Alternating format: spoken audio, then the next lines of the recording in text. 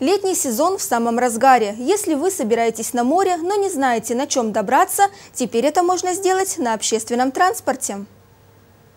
В летний период организовано автобусное сообщение по маршруту город Славянск на Кубани, пляж Оазис. Время отправления в 8 часов утра. Отправка осуществляется с остановки общественного транспорта у автовокзала города Славянска на Кубани. Время отправления из поселка Ачуева 17 часов. Время отправки можно координировать. Телефон для справок 3 20 43. Звонить с 8 до 17 часов.